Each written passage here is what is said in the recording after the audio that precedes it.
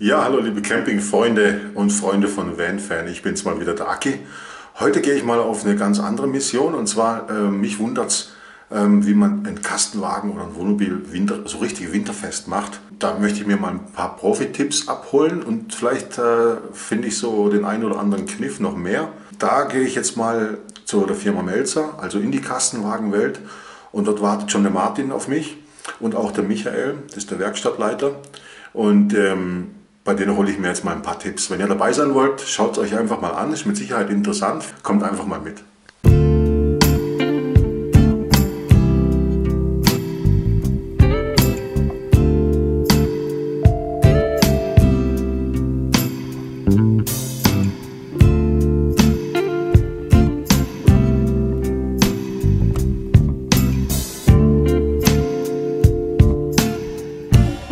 Heute nehme ich mich mal einem ganz besonderen Thema an, nämlich wie macht man einen Kastenwagen oder ein Wohnmobil winterfest. Das ist ja immer wieder die Frage und auch mich selber interessiert es natürlich an meinem Camp Scout dann nächstes Jahr, wie mache ich den winterfest. Und da habe ich einen Spezialisten an meiner Seite hier von der Firma Melzer, der Martin. Hi, servus. Servus Martin. Und äh, der Martin zeigt uns jetzt mal, auf was es drauf ankommt. Genau. Hier an dem Road Cruiser, wie ihr wisst, der Road Cruiser ist ja genau eigentlich identisch wie der Camp Scout. Ich hatte ja in meinem letzten Video hier was ich jetzt gerade oben verlinke, den Unterschied mal äh, hingestellt zwischen Camp Scout und Road Cruiser. Da ist eigentlich kaum ein Unterschied, bis auf ein paar Details. So, Martin, auf was ja. kommt es denn an? Ja, also wichtig ist natürlich in erster Linie, dass wir unser Fahrzeug, sag ich mal, wasserlos machen, beziehungsweise äh, wir müssen das ganze Wasser aus dem Fahrzeug rauskriegen. Mhm. Ja, ähm, dazu ist in erster Linie mal wichtig, dass wir am Anfang hingehen, ähm, da wir nachher unsere Wasserhähnen aufmachen, müssen wir erst einmal hingehen und das Ganze stromlos machen. Da haben wir bei den meisten Fahrzeugen, was Pössl und Globcar anbelangt, unter dem Fahrersitz dann unser EBL, ja, unser Elektronikblock. Da haben wir dann hier unter, wenn ihr unter mal reinschauen willst, haben wir ziemlich weit hinter haben wir so einen Batterietrennschalter. Das ist da angeschrieben, ist ein ganz kleiner WIP-Schalter. Mhm. Es war ein wenig dunkel, aber ihr, ihr, ihr, seht auf jeden Fall mal hier mit der kleinen Kamera komme ich ja richtig hier tief rein. Genau. Okay.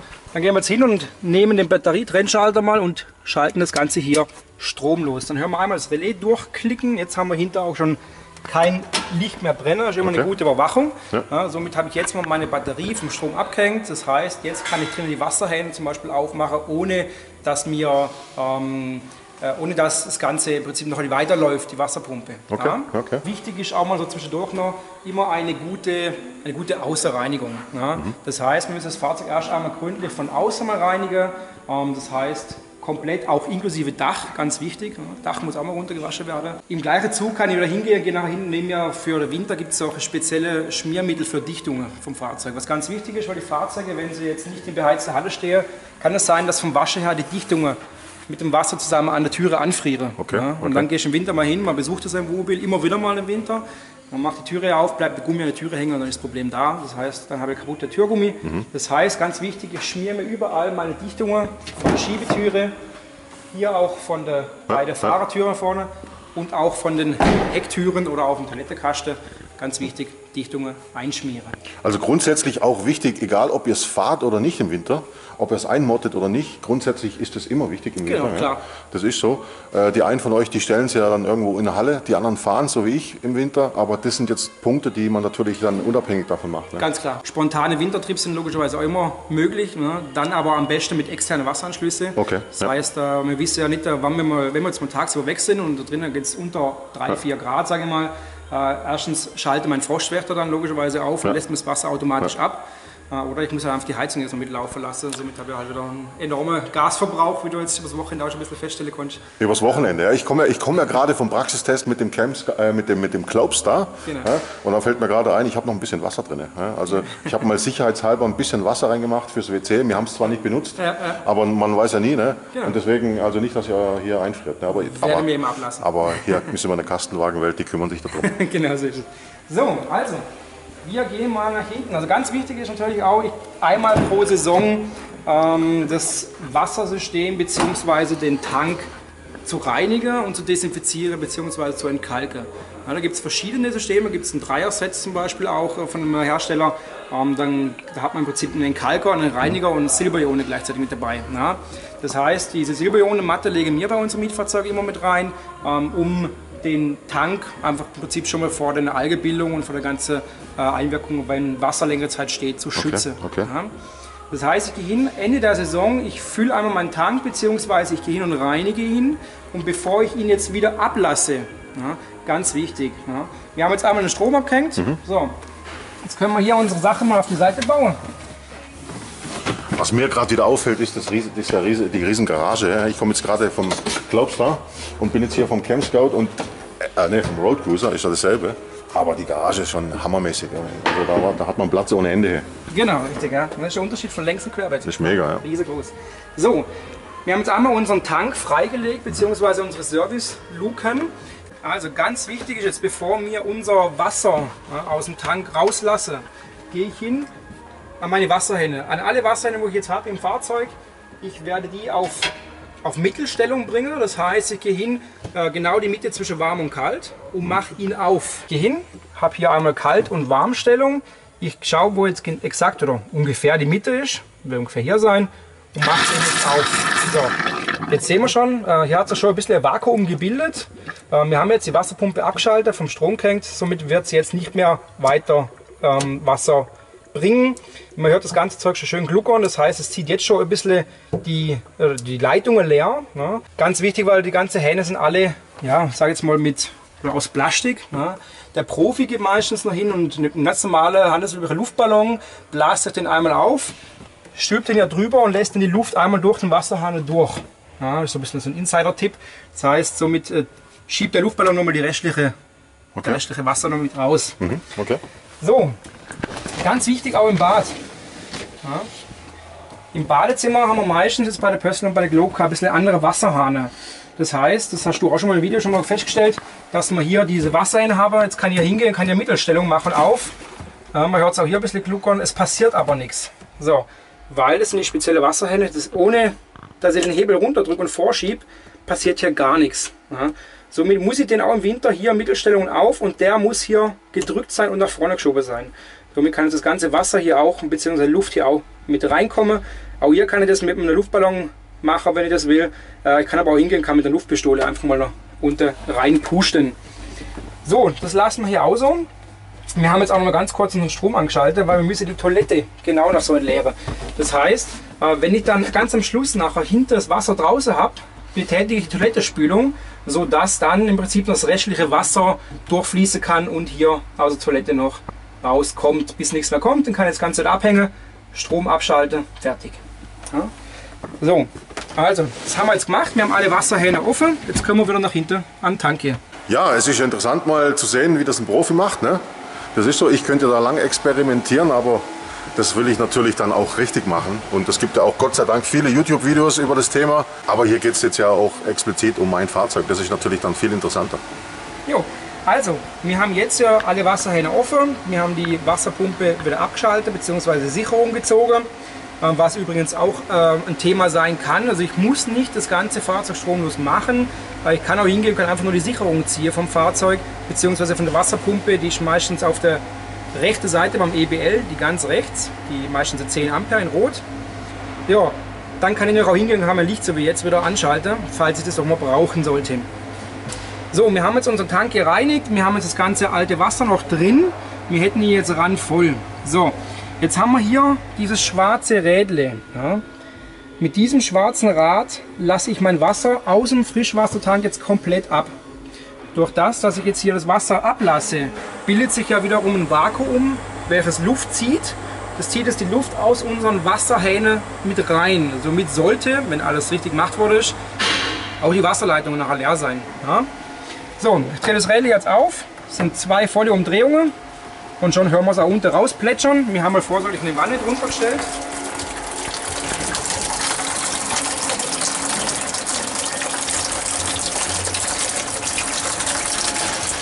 Gut, läuft. So, perfekt. Gut. Also, wenn es dann leer ist, lass bitte alle Hähne offen. Also lass wirklich die Leitungen offen. Im besten Fall gehe ich hin und lasse hier oben auch noch meine, meine Service-Luke offen, sodass das ganze System einfach atmen kann. Äh, ist ganz wichtig einfach auch, allein nur wenn ein bisschen ein paar Milliliter noch Wasser drin sind, kann es natürlich sein, dass das Zeug auch anfängt zu, zu stinken, zu muffeln. Äh, Alge bildet sich trotzdem noch. Somit gehe ich hin und lasse am besten alles offen. Ablasshahne offen, Wasserhähne offen, hier offen. Ja? So, haben wir das hier hinten gemacht, können wir weitergehen, weil wir haben nochmal einen Tank, wir haben einen Frischwasserboiler bzw. unseren Warmwasserboiler. Mhm. Ja, das sitzt vorne unter der Sitzbank, da gehen wir gleich mal vor. Okay. Bei dem Fahrzeug haben wir die Heizung unter der Sitzbank. Ja, bei vielen kann es auch sein, dass die Heizung hinter ist. Ähm, der Frostwächter, wenn es bei den Fahrzeugen vorhanden ist, sieht aber in der Regel immer gleich aus. So, jetzt haben wir hier dieser schwarze Kasten mit dem blauen Drehrädel und unten noch ganz wichtig der blaue Knopf. So wie der Frostwächter jetzt steht, wäre er aktiv. Das heißt, er misst hier drin die Temperatur, wird dann so circa bei 4 Grad ungefähr von alleine aufmachen und falls ich das vergessen hätte, mir das Wasser aus dem Boiler rauszulassen. Die einfache Sicherheitsfunktion, sodass mir ja, das teuerste ist im Prinzip, wenn das kaputt gehen kann am Froststart, ist die Heizung. Ja, das heißt, die Heizung, da reden wir irgendwo so 3.000 bis 4.000 Euro. Wenn mal ein Frischwassertank platzt, ist zwar auch ärgerlich, aber nicht ganz so teuer wie das hier. Hm. Ja. So, ich Gasheizung, aber, Das ist jetzt eine ja. Gasheizung, genau, richtig. So, ähm, übrigens aber auch bei Dieselheizung. Also dieses ja. Teil ist noch immer gleich, okay. baugleich noch okay. bei allen Fahrzeugen. Ähm, wenn ich das Ganze aber manuell auslöse, gehe ich einfach noch hin und nehme hier oben diese blaue Rädle und drülle es einfach nur um 90 Grad. Mhm. So, jetzt sehen wir, jetzt ist da unter dieser blaue Knopf rausgesprungen. Und jetzt würde das Wasser direkt hier durch unter Rausläufer aus dem, Laufer aus dem Unterboden. Ja? Das heißt, wir sehen hier die Kaltwasserleitungen, die Zulaufleitung zum Boiler. Jetzt lassen wir im Prinzip gleichzeitig das Wasser aus dem Boiler und aus dem Zulauf von dem Boiler ab. Somit haben wir jetzt alle Systeme offen. Ja? Auch der hier bleibt bitte offen. Wenn ihr dann aber trotzdem irgendwie spontane Wintertrips machen wollt, beziehungsweise Wintertrips mit Wasser, ja, manchmal sagt man, man nimmt lieber externes Wasser oder lasst es einfach drinnen, aber muss es warm halten. Ja? Ich darf halt nachher nicht vergessen, das Zeug wieder zuzumachen. Das heißt, ich muss hingehen, muss hier dann wieder, dieses Ventil, egal jetzt ob links oder rechts rum, ich kann es in beide Richtungen drehen, einmal um 90 Grad wieder drehen und dann ganz wichtig, das Wasser würde sonst immer noch rauslaufen. Dieser Knopf muss wieder reingedrückt werden. Somit ist der Froschwächter jetzt wieder aktiv. Ähm, wir haben das System wieder geschlossen. Jetzt mache ich logischerweise hinter meinen Tank auch noch zu, wenn ich dann Wasser haben wollte. Wasserhähne zu und dann kann ich meine Wasserpumpe auch wieder ganz normal anschließen. Einfach drauf schaue, dass im Innenraum warm bleibt. Also, wir gehen jetzt noch an den Abwassertank. Da haben wir nicht nur Frischwasser, wir haben auch noch Abwasser, mhm.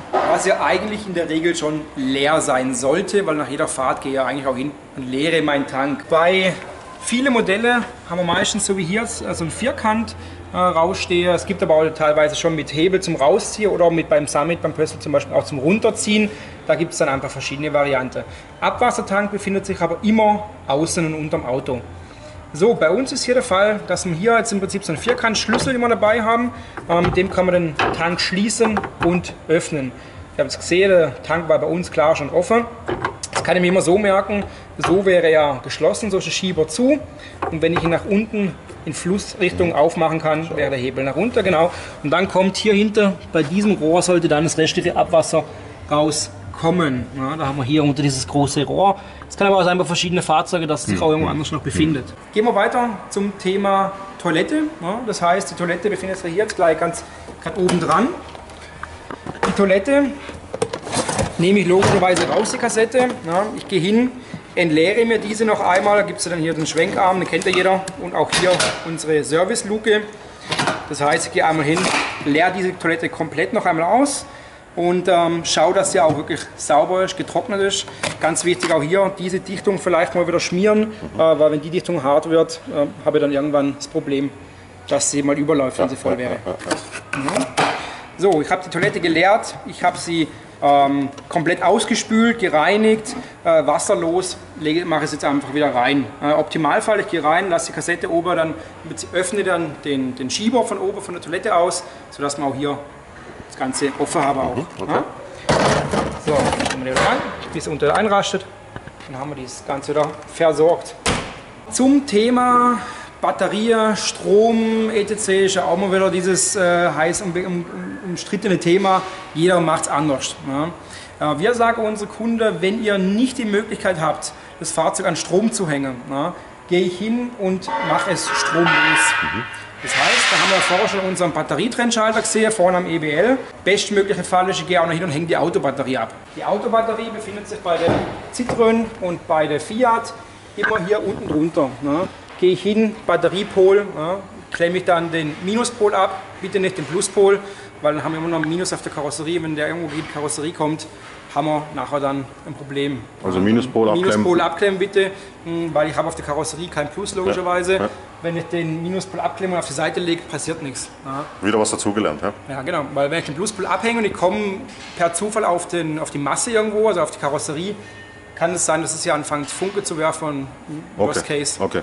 Andererfalls, wenn ich jetzt einen Einstellplatz habe, beziehungsweise einen Beistellplatz, wo ich kann meinen äh, Stromanhänger, ne, dann lasse ich alles laufen, lasse alles an, stecke den Stecker ein, gut ist. Mhm. Mehr muss ich nicht machen. Okay. Ja. Ja, Thema Reifen ist auch immer so eine Sache. Ne?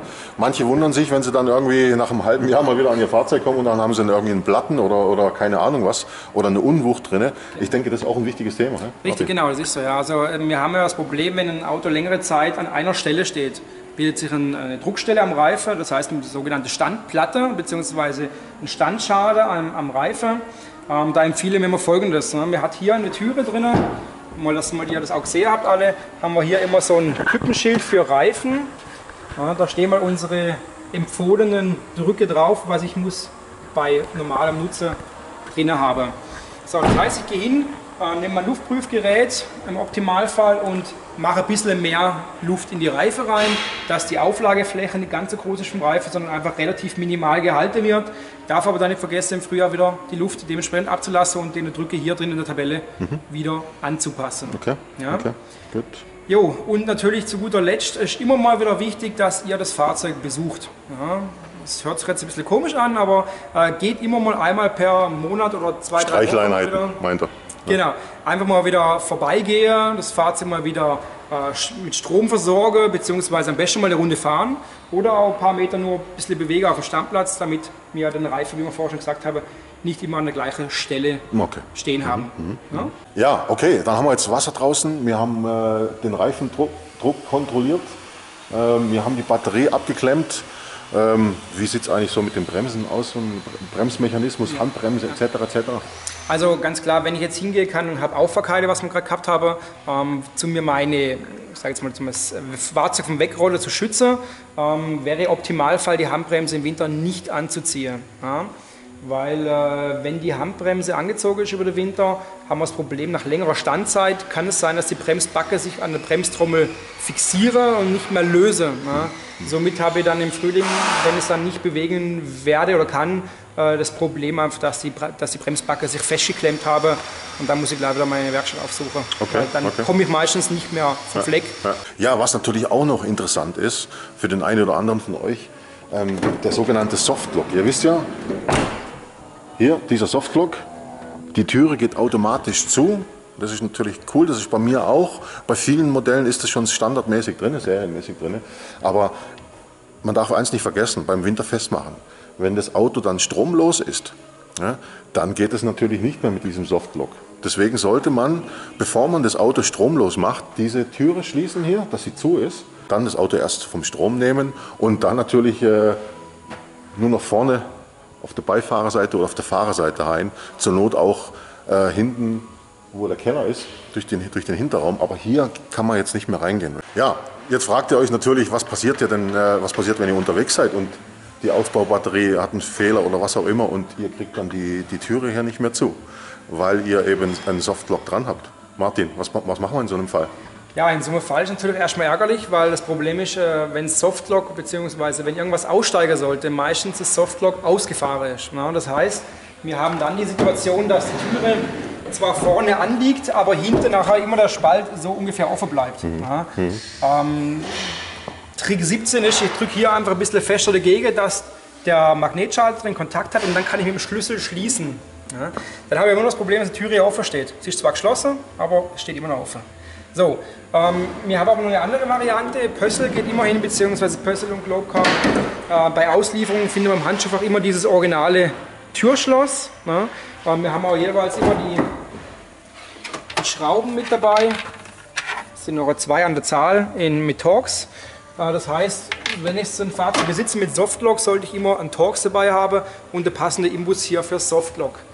Das heißt, wenn ich jetzt hier das tauschen müsste, haben wir hier beim Softlock 1, 2, 3, 4 Schrauben. Dann kann ich das Softlock nach vorne zur Schiebetüre rausziehen, ziehe den Stecker ab vom Softlock, habe den Mechanismus draußen und drunter haben wir dann wieder die originale die originalen äh, Schraubelöcher von der ganz normal, vom ganz normalen Schloss. Gehe ich hin, mache das ran mit dem zwei Torx-Schrauber und dann muss ja die Türe wieder ja, ein bisschen fester halt einfach manuell zu mache, das Ganze wieder schließt. Ich hoffe, das passiert nie. Ich habe es auch noch nie gehört von dem her, aber der Teufel ist ein Eichhörnchen, er sitzt im Detail oder wie auch immer. Und deswegen ist gut, wenn man das mal weiß, dass Pössl und Globcar das, an, äh, das, das anbietet. Merci Martin. Ja? Sehr gerne. Ich denke, wir sind hier, zumindest mal was Winterfest äh, anbelangt, sind wir jetzt mal am Ende. Ja, richtig. Das Auto ist Winterfest. Jetzt haben wir noch ein paar Kniffe, die uns hier der Werkstattleiter, der Michael, zeigen. Genau. Ja, und da bin ich mal gespannt, was er noch so zu erzählen hat, weil es gibt noch ein paar Punkte, äh, Fragen von euch, die wir hier jetzt vielleicht mal versuchen zu beantworten. Kommt mal mit. Das ist der Werkstattleiter hier. Und der zeigt mir jetzt mal ein paar Sachen, wo, wo ihr immer wieder Fragen stellt, hey, wie funktioniert das oder was kann man dagegen machen? Zum Beispiel hier, ich als Raumbad-Freak und viele von euch sind das ja auch, fragen sich immer wieder, hey, äh, wie kann man denn das Raum, das, die Lamellentür am besten reinigen? Wie kann man da Vorsorge treffen, dass die auch immer wieder gut läuft? Und da hat der Michael vielleicht irgendwie einen guten, guten Tipp. Also das A und O ist halt einfach, dass die sauber ist, sowohl, sowohl die Führung oben und unten. Wenn man da mal gucken wolle, bei der Führung unten, wenn man die Tür ganz aufmacht, wir unten diese schwarze Einlage. Wenn man die rausnehmt, können wir das alles schön sauber machen. Dementsprechend dann nachher wieder richtig rum einsetzen und dann ähm, läuft es immer schön sauber. Jetzt seht ihr gerade mal, der Michael ist auch nicht gerade der Kleinste. Ne? Hat auch gut Platz hier im Road Cruiser. Bequem steht er. Also wirklich top und äh, da sieht man auch mal wieder den Unterschied zum Maxi-Chassis. Das ist ein Maxi-Chassis hier und ich habe jetzt wirklich den kleinen, den 3,3 Tonner getestet und das ist ein Riesenunterschied. Wirklich ein absoluter Riesenunterschied. Es kam noch der Punkt Fliegengitter. Fliegenggittertür ist immer ein, ein Riesenpunkt. Ne? Wenn sie kaputt ist, wenn sie lapprig ist, Michael, dann heißt es in die Werkstatt. Ne? Wenn sie labbrig ist, dann äh, ist im Regelfall die, der Fader gerissen. Der Fader kann reißen wegen zu viel Spannung oder unter anderem auch, weil hier unten in der schönen Führung hier, hier drin sich gern äh, Steine, Dreck und Sand sammelt. Da dazu einfach am besten mit dem Kugelschreiber und einem Staubsauger hergehen. Hier mit dem Staubsauger dann schön hier die Führung aussaugen, dass das alles schön laufen kann. Zum anderen haben wir noch zwei Spannelemente zum die Fäden spannen. Einmal hier oben. Hier drin kann man die Spannung von den, Spa von den Fäden einstellen. Unten drin ist genau das gleiche nochmal. Das ist ein bisschen Sucherei, aber man kann es finden. Okay, da brauchen wir einen Imbusschlüssel dafür. Ein ja? Imbusschlüssel, eine halbe Imbusschlüssel. Wasserpumpe. Ja, wo sitzt die Wasserpumpe überhaupt und was ist, wenn die kaputt ist? Ja? Schauen wir uns mal an. Schauen wir uns an. Wasserpumpe haben wir im Wassertank. Logischerweise. Logischerweise nicht im Benzintank. Ja? Einmal hier das Bett weg. Einmal Servicedeckel auf. Und dann haben wir hier drin die Wasserpumpe.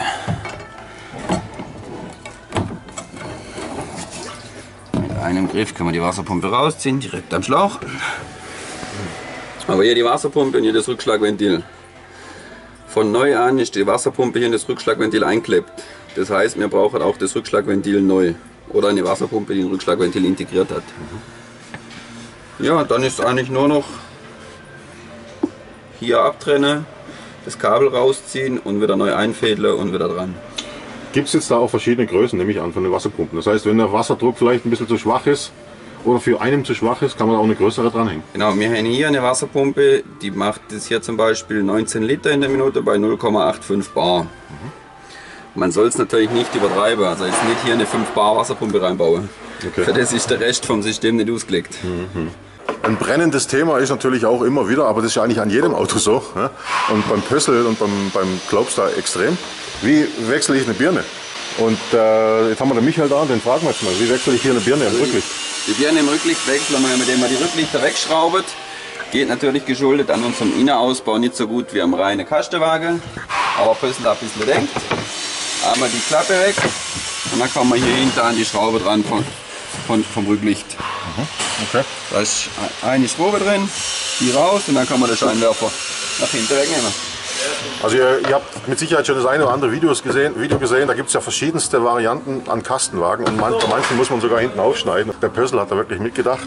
Und auch auf der anderen Seite kommt man dann Da relativ kann man gut direkt ran. Da kommt man direkt rein. Ja? kann man aufschrauben. Ich glaube, da braucht man einen, einen, äh, 10er Schlüssel oder einen 9er? 13. 13er Schlüssel braucht man da. Und dann kann man die Lampe aufschreiben, schrauben, Birne rein und fertig. Das war es eigentlich schon. Ne? Ja, was kommt noch? Wo ist, der, wo ist denn der Ersatzreifen hier an dem Pössl Road Cruiser? Ne? Das ist auch immer wieder ein Thema. Wenn das Auto dann einen Ersatzreifen hat, wo ist es und wie komme ich es dran?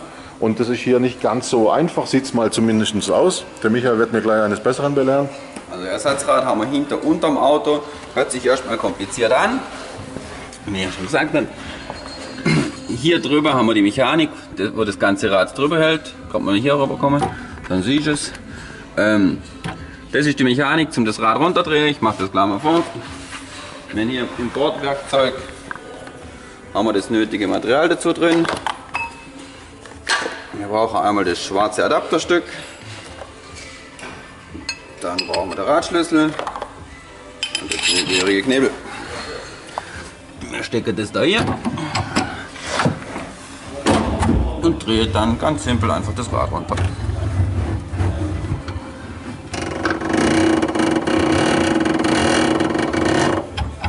So.